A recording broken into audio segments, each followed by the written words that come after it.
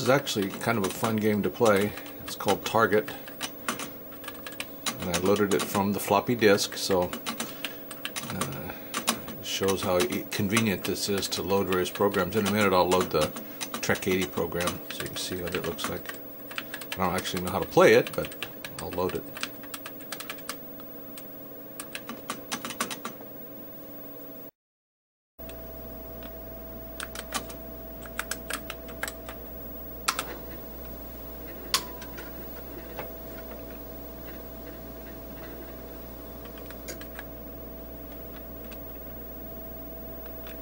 This is Trek 80. I'm not sure how to play it, but on the right you'll see a command. You can issue commands.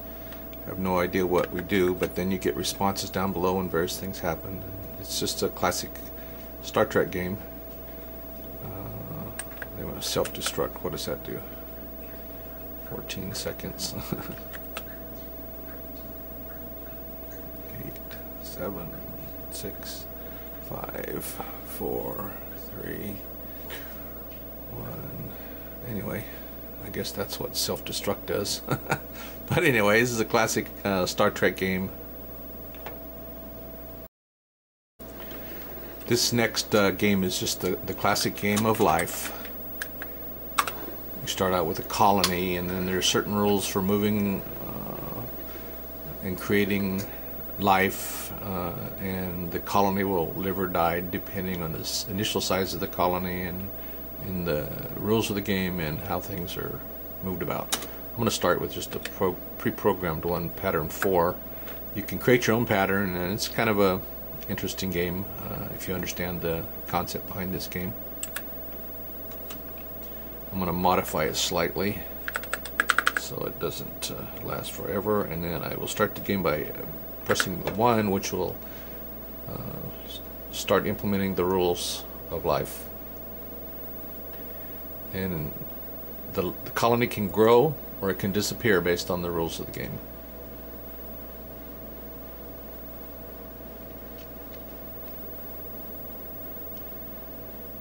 It's a very classic game called the Game of Life.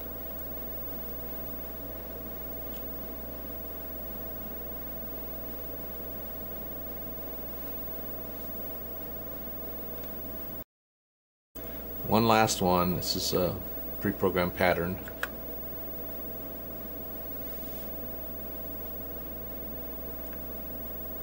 And this one is where all life disappeared.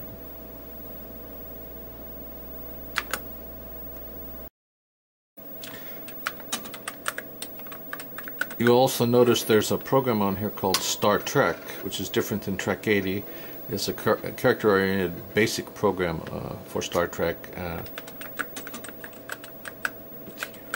okay, I haven't played it before, but I'll run it and just show you that it runs. Know, like I say, it's a it's a character-oriented and asks if you want a briefing. And I'll, I do not know if I do or not, but we'll just say yes.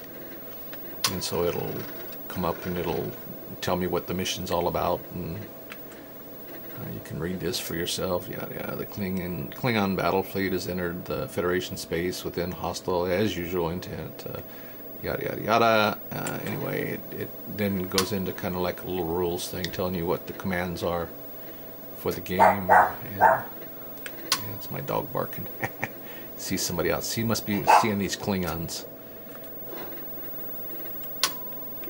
So anyway, it's just a character-oriented base. So now they're ready to start the game. So we'll pick a mission code and uh, preparing for departure, and it'll it'll bring up some stuff on the screen here, and the game will start.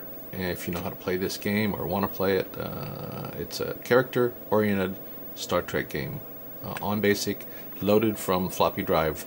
The main point of showing all these programs is that it does come complete with a lot of programs and applications the floppy drives do work, the program works, the sol's working, uh, it's working great actually. One of the best ones I've ever had.